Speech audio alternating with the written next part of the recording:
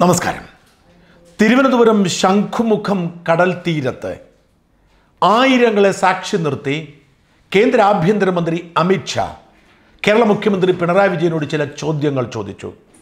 സ്വർണക്കള്ളക്കടത്തിൽ മുഖ്യമന്ത്രിക്കും അദ്ദേഹത്തിന്റെ മന്ത്രിസഭാംഗങ്ങൾക്കും ഉള്ള പങ്കിനെക്കുറിച്ചായിരുന്നു ആ ചോദ്യങ്ങൾ. ആ ചോദ്യങ്ങൾ കുറിക്കു കൊള്ളുന്നവ തന്നെയായിരുന്നു. സ്വർണക്കള്ളക്കടത്ത് കേസിലെ മുഖ്യപ്രതി എങ്ങനെയാണ് ഈ സർക്കാരിന്റെ ജീവനക്കാരിയായത്.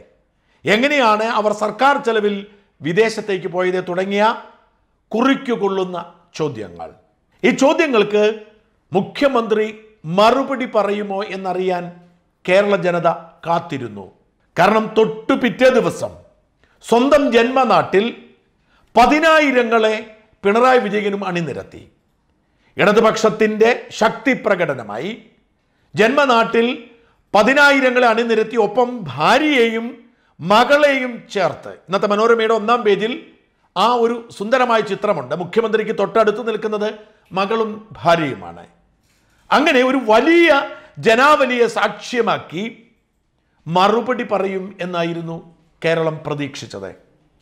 പക്ഷെ ഒരു ഒറ്റ ചോദ്യത്തിന് പോലും പിണറായി വിജയൻ മറുപടി പറഞ്ഞില്ല. കാരണം അദ്ദേഹത്തിന് മറുപടി പറയാൻ കഴിയില്ല.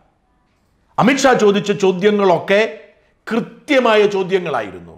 സ്വപ്ന എന്ന് പറയുന്ന ഒരു രാജ്യദ്രോഹിയെ കള്ളക്കടത്തുകാരിയെ മുഖ്യമന്ത്രിയുടെ ഓഫീസിലും വസതിയിലും നിരവധി തവണ എത്തിച്ചു. ആ ദൃശ്യങ്ങൾ മായിച്ചു കളയാൻ സി സി ടി വി ക്യാമറകൾ ഇടിമിന്നലേറ്റുപോയി. മുഖ്യമന്ത്രിയുടെ പ്രിൻസിപ്പൽ സെക്രട്ടറി ഈ കള്ളക്കടത്തിന് ചുക്കാൻ പിടിച്ചു. സ്വപ്ന എന്ന രാജ്യദ്രോഹിയെ സർക്കാരിന്റെ ഡിപ്പാർട്ട്മെന്റിൽ ഐ എ എസുകാർക്ക് കൊടുക്കുന്ന ശമ്പളത്തോടുകൂടി അനധികൃതമായി നിയമിച്ചു. സംസ്ഥാന സർക്കാരിന്റെ ചിലവിൽ അവരോടൊപ്പം മുഖ്യമന്ത്രിയുടെ പ്രിൻസിപ്പൽ സെക്രട്ടറി വിദേശത്ത് യാത്ര ചെയ്തു.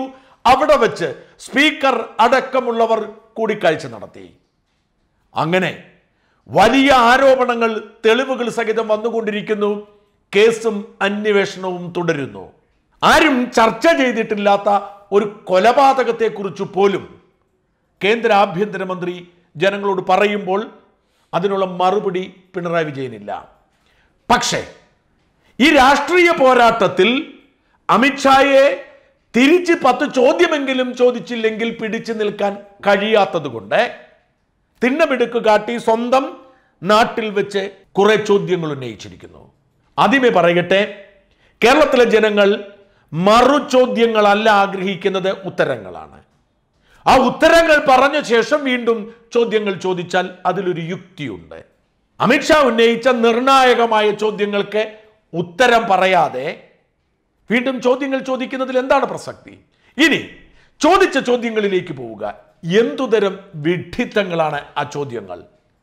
നിങ്ങൾ പണം കൊടുത്ത് സോഷ്യൽ മീഡിയയെയും മാധ്യമങ്ങളെയും ഈ മനുഷ്യ സമൂഹത്തിന്റെ ചിന്താശക്തിയെയും ഒക്കെ സ്വന്തമാക്കിയതുകൊണ്ട് അടിമകളായ ന്യായീകരണ തൊഴിലാളികളായ ചിന്താശേഷി ഇല്ലാത്തവർ കൈയടിക്കുമായിരിക്കും കീവേ വിളിക്കുമായിരിക്കും. പക്ഷേ നിങ്ങളുടെ ചോദ്യങ്ങൾ വിഡ്ഢിത്തങ്ങളാണെന്നും ആ ചോദ്യങ്ങൾക്ക് മറുപടി സാധാരണക്കാർക്ക് പോലും അറിയാമെന്നും നിങ്ങൾ വിസ്മരിക്കുമ്പോൾ പണം കൊടുത്തുകൊണ്ടുള്ള നിങ്ങളുടെ ഈ പബ്ലിക് റിലേഷൻ ഗിമിക്സ് ആണ് പൊളിഞ്ഞു പോകുന്നത് എന്ന് തിരിച്ചറിയുക. ഞാൻ മാതൃഭൂമി എന്ന് പ്രസിദ്ധീകരിച്ച ചോദ്യങ്ങളിലേക്ക് കടക്കുന്നു. ആദ്യത്തെ ചോദ്യം നയതന്ത്ര ബാഗേജിൽ സ്വർണക്കടത്ത് ആസൂത്രണം ചെയ്ത പ്രധാനി അറിയപ്പെടുന്ന സംഘപരിവാറുകാരനല്ലേ? പ്രിയപ്പെട്ട മുഖ്യമന്ത്രി അങ്ങനെ ഒരു സംഘപരിവാറുകാരൻ ഈ നയതന്ത്ര ബാഗേജ് ആസൂത്രണം ചെയ്തു എന്ന വിവരം ഞങ്ങൾക്കറിയില്ല. നിങ്ങളും ഇതുവരെ പറഞ്ഞു കേട്ടിട്ടില്ല. ആരാണ്? അങ്ങേക്കറിയാമെങ്കിൽ എന്തിനാണ് അങ്ങ് അത് രഹസ്യമാക്കി വെച്ചിരിക്കുന്നത്? പറയണം.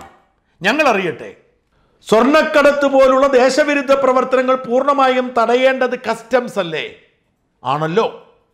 അതുകൊണ്ടാണല്ലോ തടയുന്നത്. പൂർണമായും കേന്ദ്രത്തിന്റെ കീഴിലുള്ള കസ്റ്റംസിൽ നടക്കുന്നത് കൊണ്ടാണല്ലോ കണ്ടെത്തിയത്. അതുകൊണ്ടാണല്ലോ അങ്ങയുടെയും അങ്ങയുടെ ഓഫീസിന്റെയും തട്ടിപ്പ് പുറം ലോകമറിഞ്ഞത്. കേന്ദ്ര സർക്കാരിന്റെ പൂർണ നിയന്ത്രണത്തിൽ പ്രവർത്തിക്കുന്ന തിരുവനന്തപുരം വിമാനത്താവളം ബി ജെ പി അധികാരത്തിൽ വന്നതു മുതൽ സ്വർണക്കടത്തിന്റെ കേന്ദ്രമായത് എങ്ങനെ? അല്ല ബി ജെ പി അധികാരത്തിൽ വന്നതിന് ശേഷമാണ് ഇവിടെ സ്വർണക്കടത്തെന്ന് അങ്ങയോട് ആരാണ് പറഞ്ഞത്? കണ്ണൂർ എയർപോർട്ട്. ആ എയർപോർട്ട് അങ്ങയുടെ സ്വന്തം സൃഷ്ടിയാണെന്നാണല്ലോ അവകാശപ്പെടുന്നത്. അതിന്റെ ഉദ്ഘാടനവും അതിന്റെ പോക്കും വരവും ഒക്കെയാണല്ലോ അത് തുടങ്ങിയ അന്ന് മുതൽ അവിടെ സ്വർണക്കടത്തുണ്ട്. കേരളത്തിലെ എന്നല്ല ഇന്ത്യയിലെ എല്ലാ അന്താരാഷ്ട്ര എയർപോർട്ടുകളിലും അതിന്റെ ചരിത്രം മുതൽ സ്വർണക്കടത്തുണ്ട്. അത് ബി ജെ പി അധികാരത്തിൽ വന്നപ്പോൾ മുതൽ ആണ് സ്വർണക്കടത്ത് എന്ന് അങ്ങ് പറയണമെങ്കിൽ ജനങ്ങൾ വിശ്വസിക്കണമെങ്കിൽ സ്വർണക്കടത്തിന്റെ ഒരു ചരിത്രം കൂടി അങ്ങ് കൃത്യമായി ഒരു കണക്കനുസരിച്ച് പറയണം. വെറുതെ ബി ജെ പി അധികാരത്തിൽ വന്നതോടെ സ്വർണക്കടത്ത് കൂടി എന്ന് പറഞ്ഞാൽ വിശ്വസിക്കാൻ മാത്രം വിഡ്ഢികളല്ല ഈ നാട്ടിലെ ജനങ്ങൾ. സ്വർണക്കടത്തിൽ കേന്ദ്രമന്ത്രിസഭയിലെ ഒരു സഹമന്ത്രിക്ക് നേതൃപരമായ പങ്കില്ലേ? എന്റെ പൊന്നു മുഖ്യമന്ത്രി. എന്നിട്ട് എന്താണ് ഇതുവരെയായും ഈ സഹമന്ത്രിയെക്കുറിച്ച് അങ്ങ് പറയാത്തത്? ഏത് സഹമന്ത്രിയാണ് സ്വർണക്കടത്തിൽ നേതൃപരമായ പങ്ക് വഹിക്കുന്നത്? അറിയാത്തത് കൊണ്ട് ചോദിക്കുന്നതാണ്. പറയണം. ഏത് മന്ത്രിക്കാണ് സ്വർണക്കള്ളക്കടത്തിൽ നേതൃപരമായ പങ്കുണ്ട്? അത് പറഞ്ഞു തരികയാണെങ്കിൽ അതുമായി ബന്ധപ്പെട്ട് നിങ്ങൾ തെളിവ് തരുവാണെങ്കിൽ ഈ തെരഞ്ഞെടുപ്പ് സമയമാണ്. ഞാൻ വാക്ക് പറയാം. ഞങ്ങൾ ചർച്ച നടത്താം. അലക്കി വെളുപ്പിക്കാം. ഏതെങ്കിലും ഒരു കേന്ദ്രമന്ത്രിക്ക് ഈ സ്വർണക്കടത്തുമായി ബന്ധമുണ്ട് എന്ന് അങ്ങേക്ക് ഉത്തമ ബോധ്യവും തെളിവുമുണ്ടെങ്കിൽ അങ്ങ് എന്തിനാണ് രഹസ്യമാക്കി വെച്ചിരിക്കുന്നത്?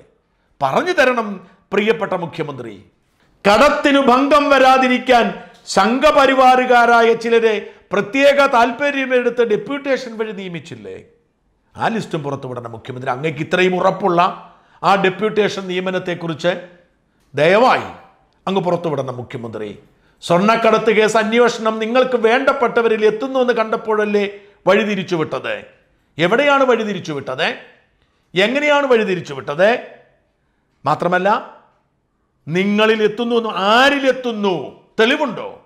പുറത്തുവിടണം മുഖ്യമന്ത്രി. സ്വർണം കടത്തിയത് നയതന്ത്ര ബാഗേജിൽ അല്ലെന്ന് പറയാൻ പ്രതിയെ പ്രേരിപ്പിച്ചത് താങ്കളുടെ പാർട്ടിയിലെ ചാനലിന്റെ മേധാവിയല്ലേ? ആ ചോദ്യത്തിന് മാത്രമാണ് യുക്തിയുള്ളത്. പക്ഷെ അതിന് ഒരുപാട് മറുചോദ്യങ്ങളുണ്ട്. ഈ മേധാവിയുടെ പേര് അനിൽ നമ്പ്യാർ എന്നാണ്. മേധാവി ഒന്നുമല്ല അവിടുത്തെ ബ്യൂറോ ചീഫ് അനിൽ നമ്പ്യാർ എന്നാണ്. ഈ അനിൽ നമ്പ്യാർ ഏറ്റവും അടുത്ത ബന്ധം സ്ഥാപിച്ചിരിക്കുന്ന രാഷ്ട്രീയ നേതാവ് അങ്ങയുടെ പാർട്ടിയുടെ സെക്രട്ടറി കോടിയേരി ബാലകൃഷ്ണനാണ്. അത് മറക്കരുത്. രണ്ട് നയതന്ത്ര ബാഗേജിലല്ല എന്ന് ഇങ്ങയുടെ പാർട്ടിയുടെ ഒരു ചാനൽ മേധാവി പറഞ്ഞ് അത് കേട്ടായിരുന്നെങ്കിൽ കേസാവില്ലല്ലോ. അത് കേൾക്കാത്തത് കൊണ്ടല്ലേ? അത് അംഗീകരിക്കാത്തത് കൊണ്ടല്ലേ കേസായത്? മാത്രമല്ല നയതന്ത്ര ബാഗേജിലല്ല എന്ന് പറഞ്ഞാൽ നിങ്ങൾ രക്ഷപ്പെടുമോ? രക്ഷപ്പെടത്തില്ലല്ലോ. അവർ രക്ഷപ്പെടുമോ? രക്ഷപ്പെടത്തില്ലല്ലോ. ഇത് വലിയ വിഷയമായത് എങ്ങനെയാണ്? എന്റെ പ്രിയപ്പെട്ട മുഖ്യമന്ത്രി അങ്ങ് വിവരക്കേടുകൾ എഴുന്നള്ളിച്ച് സ്വയം കുഴി തോണ്ടുകയാണ്. അങ്ങ് പറഞ്ഞതൊന്നും ചോദ്യങ്ങളെ അല്ലെന്നും അവയൊക്കെ ചുമ്മാ അങ്ങയുടെ ഭാവനയിൽ വിരിഞ്ഞതോ അല്ലെങ്കിൽ ഏതെങ്കിലും ഉപദേശി എഴുതി തന്നതോ ആണെന്നും അങ്ങ് ഈ വിഡ്ഢി ചോദ്യങ്ങൾ ചോദിച്ച് നിലവിളിക്കുന്നത്. അമിത്ഷാ ചോദിച്ച ചോദ്യങ്ങൾക്ക് ഉത്തരം പറഞ്ഞാൽ നാറുമെന്ന് ഉറപ്പായത് കൊണ്ടാണെന്നും ഈ നാട്ടിലെ ജനങ്ങൾക്കറിയാം. അവർ അറിഞ്ഞു കഴിഞ്ഞിരിക്കുന്നു.